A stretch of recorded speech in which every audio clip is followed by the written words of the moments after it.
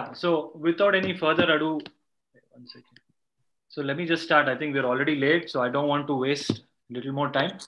So I think all the faculty have spoken about what is on the anterior side of the glenoid. I think now let me represent the posterior, the alone representation. So hope I do a good job.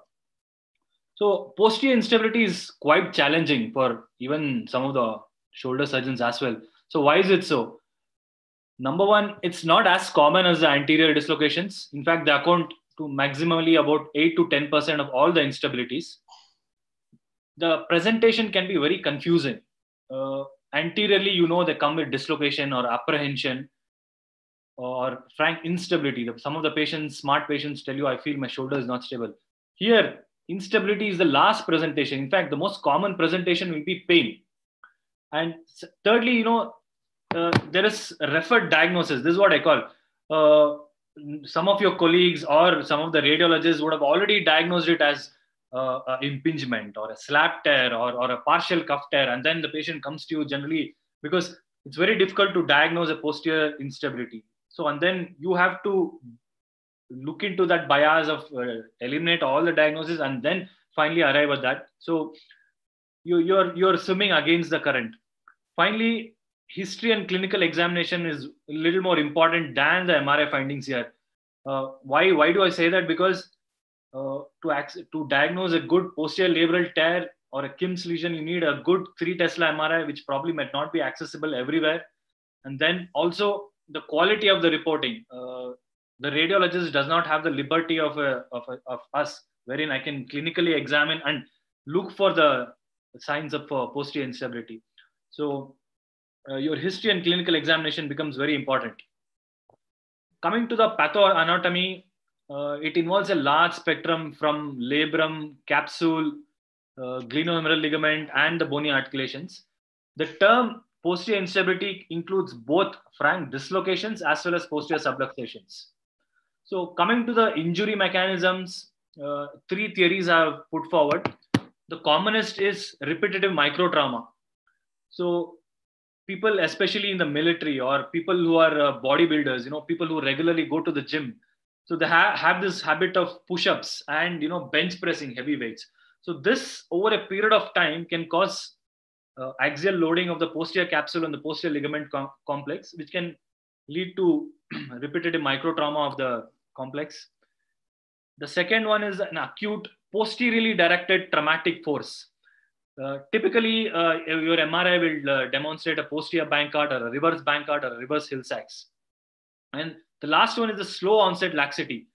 Uh, gradual stretching of the uh, posterior inferior glenohumeral ligament and the posterior capsule will lead to a posterior instability, typically seen in some of the baseball pitchers in America. A few words about the stabilizers. what stabilizes the posterior uh, this thing, uh, capsule and the ligament. So the first one is the version and shape of the glenoid. Uh, abnormalities in the shape and version is more common in patients with atraumatic uh, instability. Greater the retroversion and more prone it is for posterior dislocation.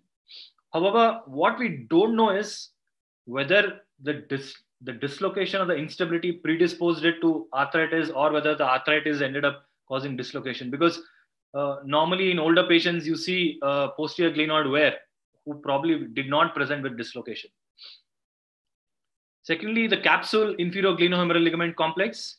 Uh, it plays a role in the extremes of rotation, especially internal rotation.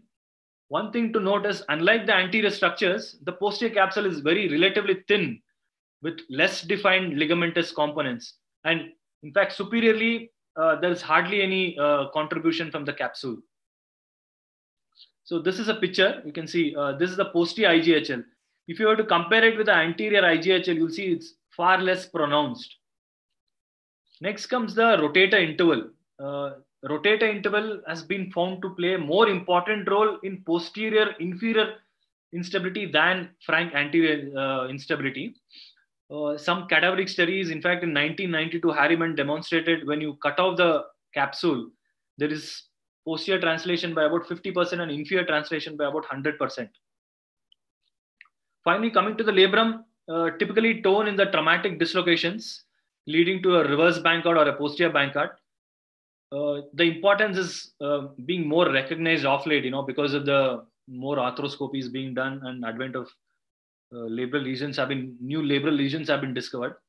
One of them being POLPSA, that is the posterior periosteal sleeve avulsion by Yu et al. in 2002, and the classic Kim's lesion, which is an incomplete and concealed avulsion of the labrum. Uh, I'll come to this later on to show you exactly.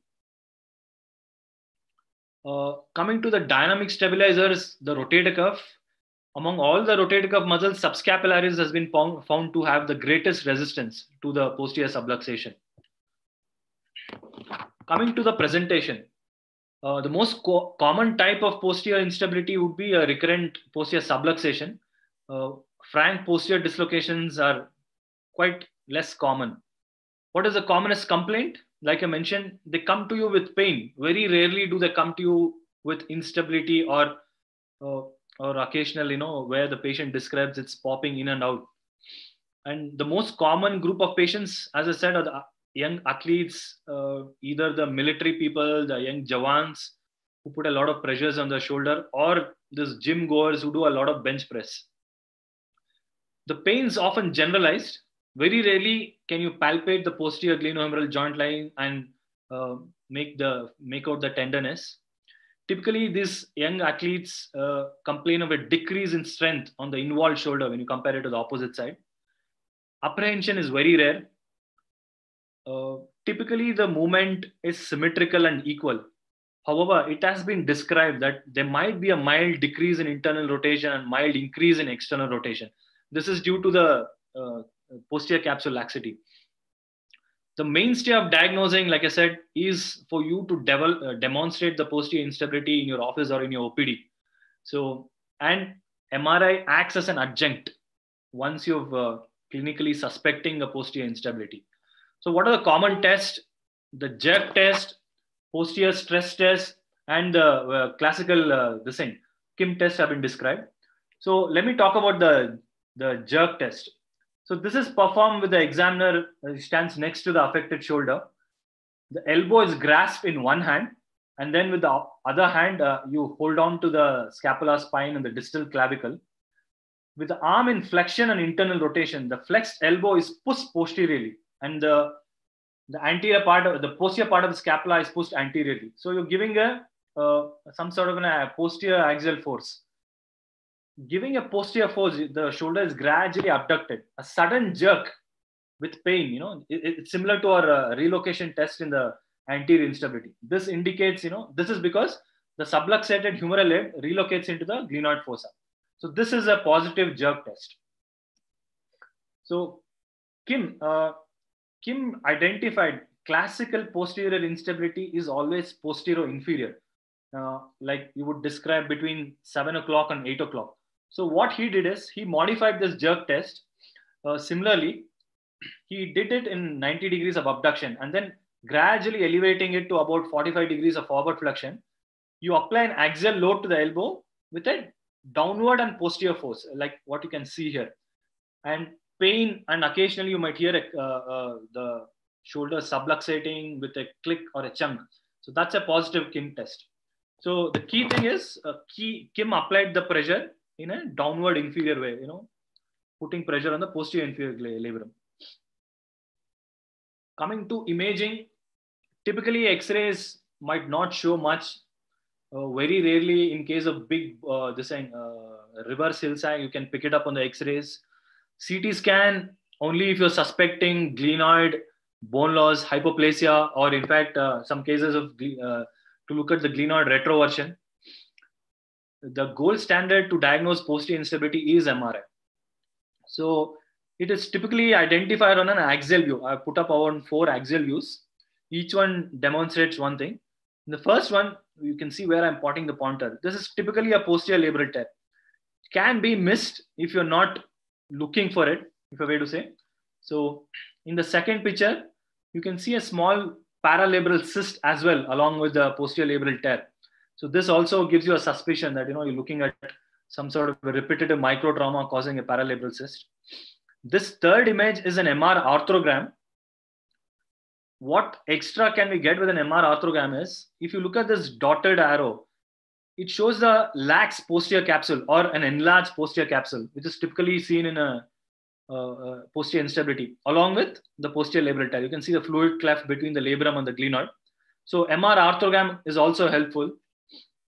And finally, in the last picture, you can see a posterior labral tear as well as glenoid hypoplasia, typical glenoid hypoplasia. Uh, let me describe the Kim's lesion. So what is this? This is an incomplete and concealed avulsion uh, happening in the posterior inferior labrum. If you look at this picture, look at the way the, because of the labral tear, the, the head is, the, the forces are directed posterior inferiorly.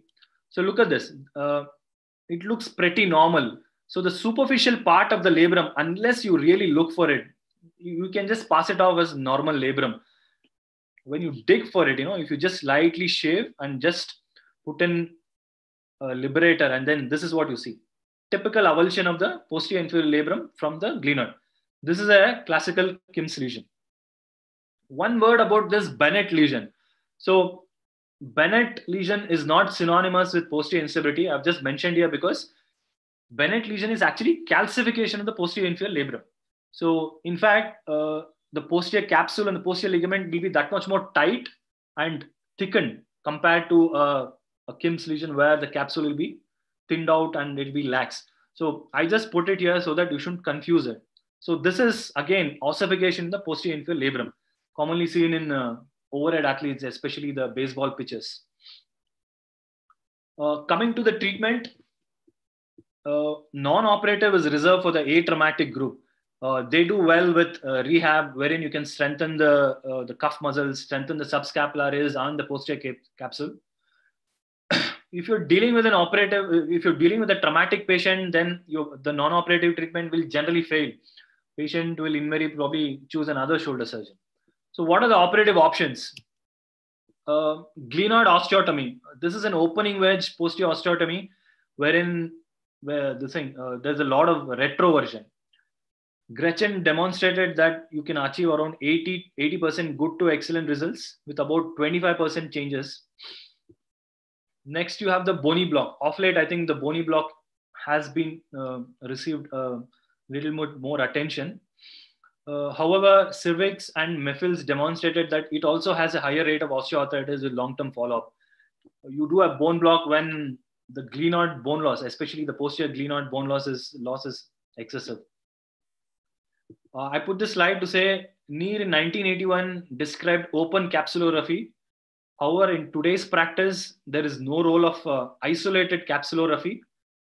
Uh, normally, it is done arthroscopically along with a posterior labral repair. So I'll just come to the arthroscopic uh, labral repair, just one case. So if you look at this, this was a 30 year old male who came to me with chronic pain with no history of any subluxation or dislocations. And MRI showed a very small paralabral cyst, which was dismissed, you know, by a lot of uh, other orthopedic surgeons. So clinically, yes, he did demonstrate uh, signs of posterior instability. So we, we decided I had to explain him. See, uh, this does look like an instability. If I do find something, I'll I'll repair it. So this was the first picture. If, if I went in, you see, you can almost pretty much normal. There's no frank tear as such. And then when I put in a liberator and elevated, you can actually see there was a small cyst, uh, not much of gelatinous fluid, but you can clearly see how the, the labrum, I would say this is around 11 o'clock or this thing, the labrum, the posterior, the posterior, posterior to posterior superior labrum was lifted off. And then rest was very simple. I put in two anchors, all sutures anchor one at uh, this level and the other one at the, this one. Uh, this is a video which I'm just going to show. Uh, this was a 25 year old male with a history of injury while driving a car. He had a, uh, he sustained, let me just pause it. He sustained uh, a seat belt injury uh, in the car. He came to me with pain. MRI showed a typical reverse Bankart lesion. Oops, let me go back. So this is the scope in the posterior portal. Uh, as you, you can clearly see the anterior labrum is intact. As you slowly withdraw the scope, you can see the typical posterior Bankart or the reverse Bankart lesion. I now shift my scope anteriorly, anterior superior portal. To get a better view of the posterior side. So yeah, this is the one. As you can see, there's also a bit of cartilage defect along with that. So this is me probing and looking at the posterior labral tear. I now bring in a shaver, clean out the flap of the posterior labrum. Just gonna forward it. So this is me, you know, just cleaning it out.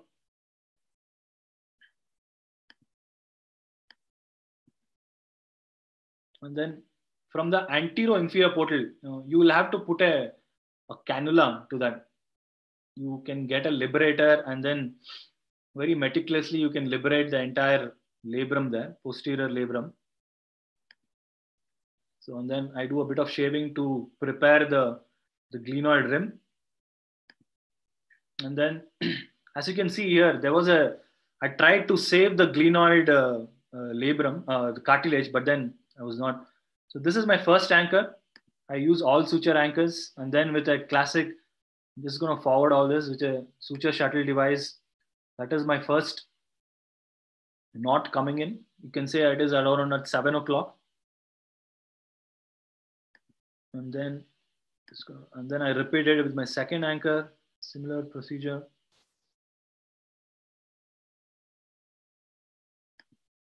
So that is my second anchor knot. And then the rest is pretty simple. Uh, you put another anchor and then knot it up. So this is the final picture I got. So I, would like to conclude my talk on posterior instability saying uh, it is not rare, definitely uncommon, but it requires a lot of clinical suspicion, a lot of tests, and supplement your findings with MRI. And once you go in, it is as similar to an anterior labral repair. Thank you.